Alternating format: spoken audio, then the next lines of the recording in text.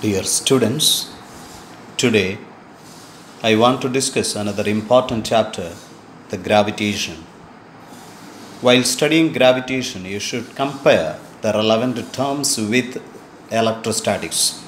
It becomes more helpful to memorize the relations. And keep in mind, for NEET and KEAM entrance, you can wait minimum 3 to 4 questions from this chapter. For JEE main, 2 questions. At first, we can move with the universal of gravitation. You know, the force of interaction, you know, it is attractive in nature between the two particles m1 and m2 or it is given as f is equal to minus g m1 m2 by r square where g is called the universal gravitational constant. And it does not depends upon the nature the size of the bodies the nature of the medium between the bodies. And it got the magnitude in SI system 6.67 into 10 raised to minus 11 and in CGS 6.67 into 10 raised to minus 8 and keep in mind the gravitational force of attraction is always attractive in concept and hence the sign as negative and is a conservative force for a closed path the work done becomes zero and is acting along the line joining the two particles and hence it is called central and is said to be the weakest force in the nature and keep in mind another very important concept to solve the problems the principle of superposition the resultant force f acting on a particle due to number of point masses is equal to the vector sum of forces exerted by the individual masses on the given particle. Look, in addition to that, the vector form of gravitation concept. And so the force on one due to the other chap masses 2, 3, etc. to n can be represented like that.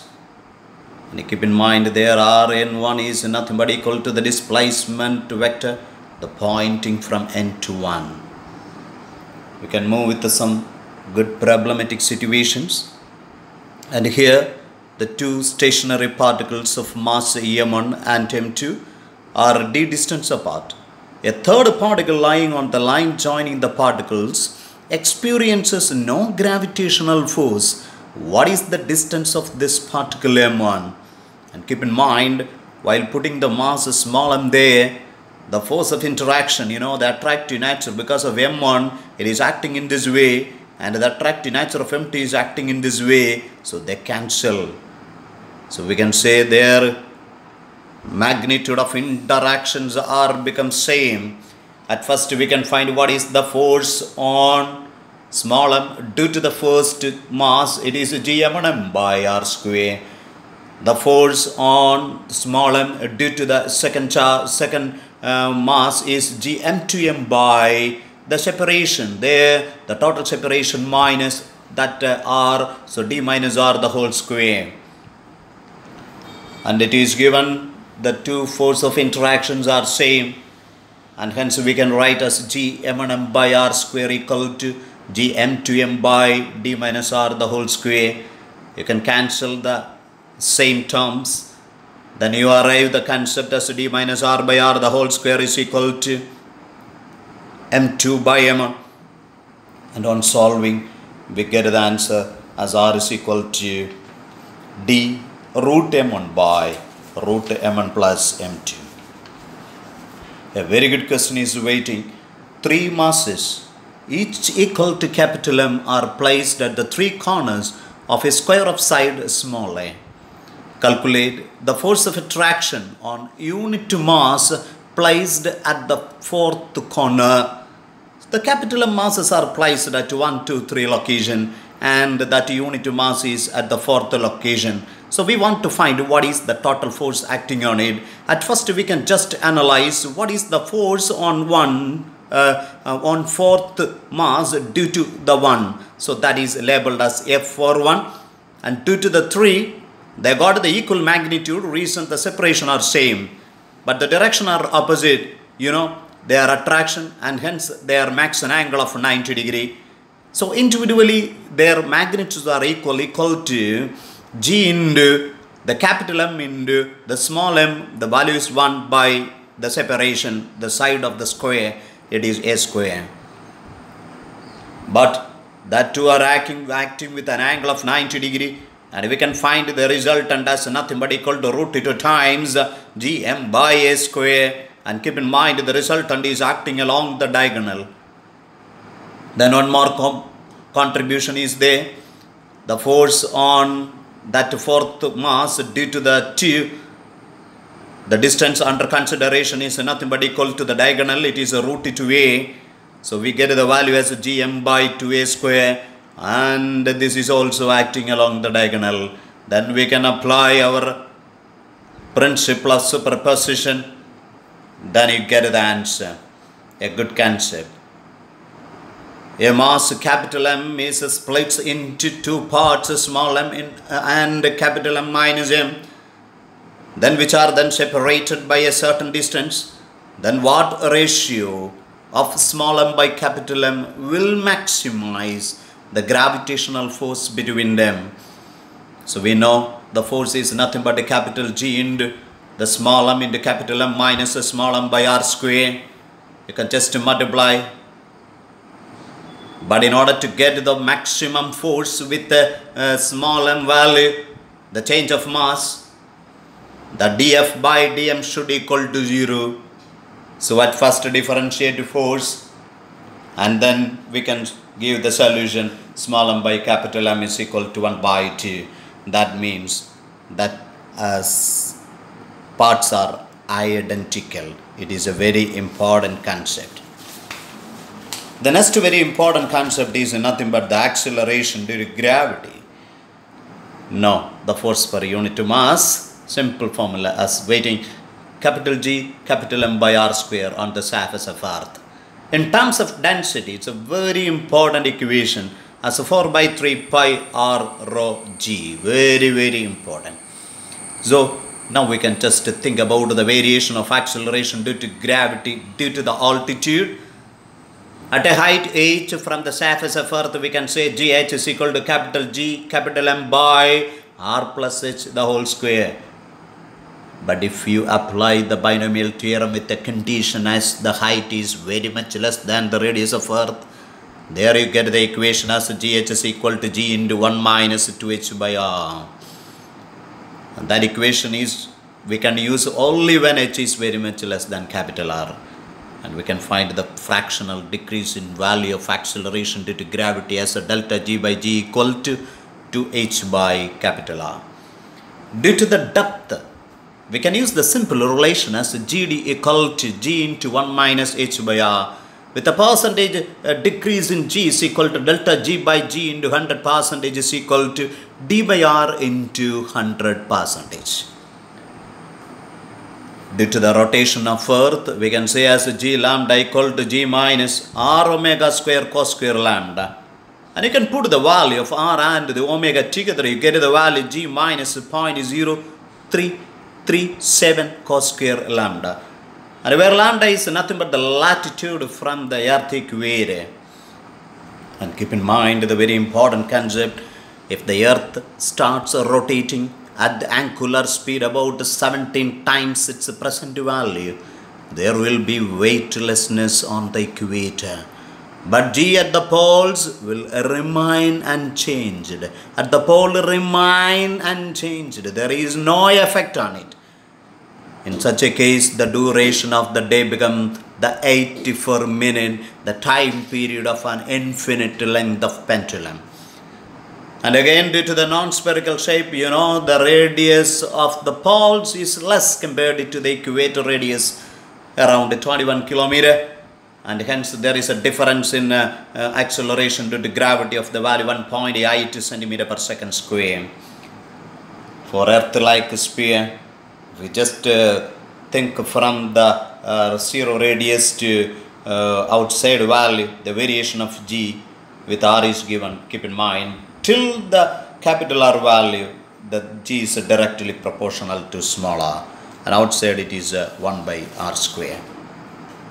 We can move with uh, some good questions. A body weighs 200 Newton on the surface of Earth. How much will it weigh half day, halfway down to the center of the Earth? And we know the variation of g dash is equal to g in 1 minus dr. If you just multiply with the mass, we get the weight, and it is given on the surface as a 200. And here d is equal to r by 2, you get the answer. Another question the imaginary angular velocity of the earth for which the effective acceleration due to gravity at the equator shall be zero. So g dash is equal to 0. At the equator lambda becomes 0. So we can write easily g is equal to omega square r. We can easily find the value omega is equal to root g by r. That got the value. Good concept as 1.25 into 10 raised to minus 3 radian per second. The weight of an object at Earth's surface is a 700 gram weight. What will be its weight at the surface of a planet, planet whose radius is half and the mass is 1 by 7 of that of the Earth? You know, the gravity on a respective planet depends upon its mass and the radius, its own radius, and hence we can easily write for the planet as g into mp by rp square. And here, the mass of the planet and the earth comparison with the mass of the planet is me by 7 and the radius of the planet is r by 2 you can just substitute and you get the value of uh, gp is 4 by 7g and if you just multiply with the mass we get the value of weight so it becomes a 4 by 7 of mt and is given as a 700 so 400 gram weight. It's a good question. The gravitational field intensity, gravitational potential are the two important terms as a vector and a scalar in order to represent the magnitude or uh, the, the magnetic, uh, the gravitational field. In order to represent the gravitational field, we are using the two terms, the gravitational field intensity and gravitational potential.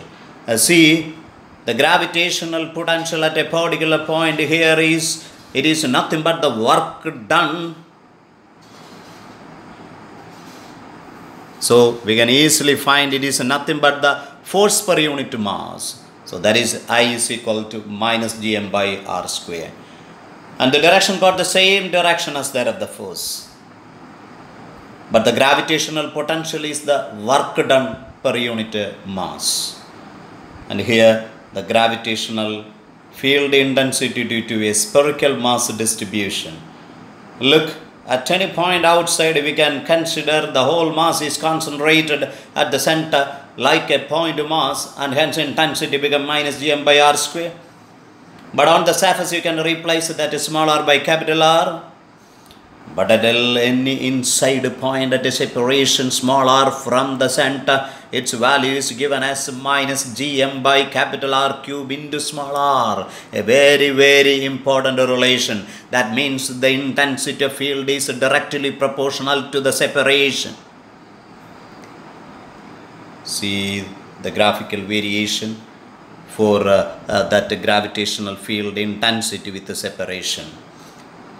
But keep in mind for a spherical shell entirely different if you just consider the point well inside and there is no mass presence there and one contribution from the outside is cancelled by the another point and hence we can say the gravitational field intensity at any point inside of the shell is zero. Look the variation and another good concept, the inertial and the gravitational masses are equivalent. We can just go with some problematic situations for gravitational field. Infinite particles of each mass as a capital M are placed at positions x is equal to 1 m, 1 meter, 2 meter, 4 meter, etc. to infinity. Find the gravitational intensity at the origin and all other mass particles are attracted got the same direction so we can just add by using the principle of superposition i1 plus i2 plus plus etc to plus infinity So the first particle's contribution as a gm division by 1 square, by 2 square, by 4 square, plus etc. to infinity. We can take the common factor gm into 1 plus 1 by 4 plus 1 by 4 square plus etc. So it becomes a geometrical progression. We can add them as gm into 1 by 1 minus 1 by 4. You get the answer as 4 by 3 gm. And another one, if a spherical shell is cut into two pieces along a chord as shown in figure, and the point P and Q have gravitational intensities IP and IQ respectively, then how we can give the relation? But we know inside a shell the intensity of gravitational field is zero. That means IP plus IQ should equal to zero. Therefore, IP should equal to IQ, but but they are not zero. It is a very very important concept. Another very good question. A solid sphere of uniform density and radius r exerts a gravitational force of attraction F1 on a particle P distant 2r from the center of the sphere. A spherical cavity of radius r by 2 is formed in the sphere. The sphere with the cavity now applies a gravitational force F2 on the same particle. Find the ratio F2 by F1. A good, good question. Look the steps we have to use.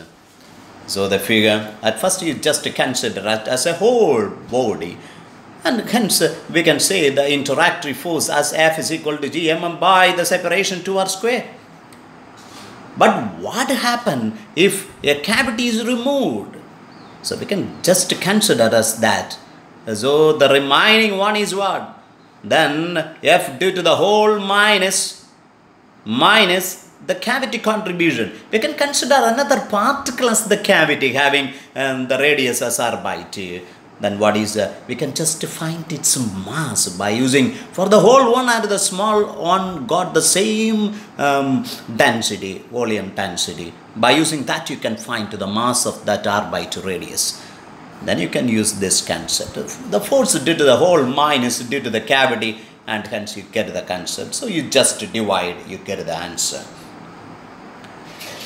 The gravitational potential the gravitational potential, the work done to take a unit mass from infinity to that particular point with a simple concept as minus gm by smaller, a scalar quantity. And keep in mind, the potential increases as we move away from the capital M mass.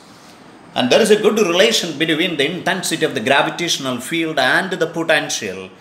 As we can write as V is equal to minus integral of I dot dr where I take the value as minus dV by dr, the negative gradient of potential that is called the intensity of gravitational field.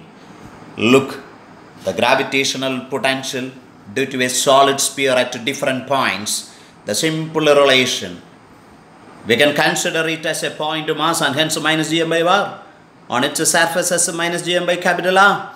But well inside, it is a very, very important concept the value of potential at any point inside at a separation small r from the center is uh, minus gm by 2r cube into 3r square minus r square. And keep in mind if you just substitute small r equal to capital R you get the same value on its surface it is the very important. Look the value of that potential at the center when small r equal to 0 it becomes a 3 by 2 times of the potential contribution due to a point on the surface. Look the graphical variation of potential with the distance. And the drawing is on the third quadrant because the potential has a negative with a positive r. That is a good concept. Due to a spherical shell we can say like this one at outside a point at the surface it's the same concept as that of the um, solid uh, sphere. But well inside you know the intensity of the gravitational field is zero there. That means the negative gradient of potential is equal to zero. That means potential is a constant at any point inside the shell. Got the same value as that of on its surface. A good concept very very important one the gravitational potential energy. Got the simple relation as minus gmm by r. The change in potential energy when a point mass m is moved vertically upward through a height h from the surface of earth. It's a very important relation that is mgh by 1 plus h by r. But keep in mind if the height is very much less than r, we can take the equation as mgh. But if h is very much greater than uh, r, you have to take mgr. If three particles of masses m1 and m2 are kept at the three corners of an equilateral triangle of side d, the gravitational potential energy of the system, yes, it is the just algebraic sum of the three contributions. Keep in mind, it is a very important concept. Look, the two good questions. The infinite number of bodies, each of mass 2 kilogram, are situated on x-axis at a distance 1, 2, 4, 8 meter respectively. The resulting gravitational potential to this system at the origin will be you have to just take the sum of gm by r. The first contribution with the separation as 1, 2, 4 like that. So again it become a geometrical progression and with a recurring term of 1 by 2. So you can easily write as uh, 2g into 1 by 1 minus 1 by 2. You get the answer. Four bodies, each of mass m, are placed at the different corners of a square of side A. Find the work done, work done on the system to take it in one body to infinity. So you have to take what is the potential energy change for the two situation. At first we have to find what is the potential energy because of the four particle system. So the contributions you have to write as u 1, 2, 2, 3, 3, 4 and 4, 1. Then 1, 3 and 4, 2. So we have to express it. Then after you have to avoid the fourth one. So then three particles are there. Then we can again find what is the potential energy in the final configuration. Then you just take the difference. You get the answer. A good question, keep in mind. A body of uh, mass small m is placed on the surface of earth. Find the work required to lift this body by a height of RE by 1000 or H is equal to RE. But at the first case is there the height is very much less than RE. You can just use the concept as MGH. But and the next case is uh, H is approximately equal to R. So you can use this concept as MGH by 1 plus H by R. You get the answer. Look another one. A body of mass m kilogram starts falling from a distance to or above the earth's surface. What is its kinetic energy when it has fallen to a distance or above the earth's surface? We can think with the conservation of energy. At a height 2 or above the surface, from the center we can take as a 3r and hence the potential energy we can treat it as minus gmm by 3r plus the kinetic energy. It is at rest so 0 equal to. When losing h uh, r separation it's a potential energy combination become the contribution become minus gmm by 2r plus kinetic energy. So from that you can find the kinetic energy take the value as this one. A good concept escape velocity we know that escape velocity take the equation as root 2g by r root 2gr or equal to root 2g capital M by r. And keep in mind it is independent of the mass size and the shape of the body and the direction of projection. It only depends upon the parent planet its mass its radius and keep in mind for Earth it is 11.2 kilometer per second, whatever may be the location of the particle. And for Moon it is 2.4 kilometer per second. For Sun 618 kilometer per second. Look the relation for the orbital velocity of a satellite. It is gm by r, the whole raised to 1 by 2, where small r is r plus is. And keep in mind, if that satellite is more close to the Earth's surface, it moves with a velocity of 8 km per second. And the escape velocity take the value as a root to times of the orbital velocity. Look the time period. And keep in mind the square of the time period is proportional to the cube of the semi-major axis. And keep in mind for a close orbit, keep in mind for a satellite revolving very near to the surface, then the time period becomes 2 pi into root r by g. That means 84.6 minute with an angular speed of 1.24 into 10 rise to minus 3 radian per second. And also, if a ball is just allowed to move through a tunnel through the earth along the diameter or the chord, keep in mind it executes as a jump with the time period of the time period of an infinite pendulum with a value of 84.6 minute. Look the relation for the kinetic energy, potential energy, and the total energy of a satellite. For the kinetic energy, we can say as uh, G capital M M by 2R. The potential energy take the value as minus GMM by R. The total energy as minus GMM by 2R. Look the relations between the potential energy, kinetic energy, and the total energy are very very important for the examination point of view Keep in mind some extra concepts when velocity of a satellite increases, its kinetic energy increases, and hence the total energy becomes more negative. That is, the satellites begins to revolve in orbit of smaller radius. When the satellite is taken to a greater height, the potential energy increases, it becomes less negative, but the kinetic energy decreases. Look the relations between the velocities the orbital velocity, the escape velocity, and the velocity of a particle. If it is uh, less than the orbital velocity, that particle will undergo the spiral path. But if it got the same velocity as that of the orbital velocity, it becomes a circle. But if it is uh, greater than orbital velocity but less than escape, it is undergoing an elliptical path. But it is equal to the escape velocity of uh, a, an object then it become a parabolic path. But if it is greater than escape velocity, the trajectory, the path of the uh, particle is a hyperbola. The variation of different energies with R. A good concept to keep in mind the total energy and the potential energy for a satellite, for a bounded system are negative, but the kinetic energy is a positive scalar quantity. The energy required for a satellite to leave its orbit around the earth and escape to infinity that is called the binding energy with a value of minus value of that uh, um, total energy. Here gmm by 2r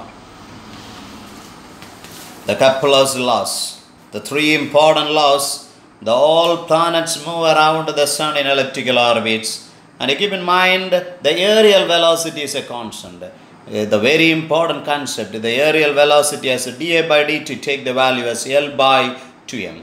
The angular momentum L is a constant for a planetary motion and hence we can say R cross P is a constant. That means MVR is a constant. That means the velocity is inversely proportional to the separation between the planet and the sun and hence the planet when it closes to the uh, sun it moves with maximum speed it is a very important concept and the third one the square of the time period of a planet is proportional to the cube of the semi-major axis that the three laws are very important and especially the second and the third one one question if escape velocity on earth's surface is 11.1 km per hour then find the escape velocity of on Moon's surface.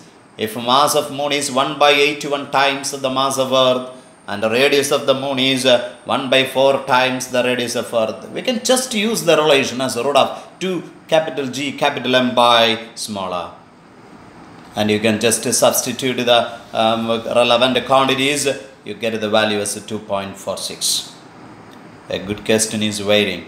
A geostationary satellite is revolving around the Earth. To make it escape from the gravitational field of Earth, its velocity must be increased. So we know we have to find the percentage value. So V minus V0 by V orbital by V orbital into 100 percentage.